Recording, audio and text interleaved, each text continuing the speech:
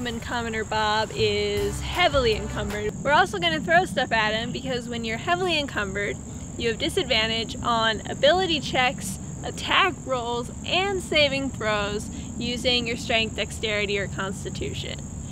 Here we go! Go! One, two, three, four, five, six. Dude, that's really heavy.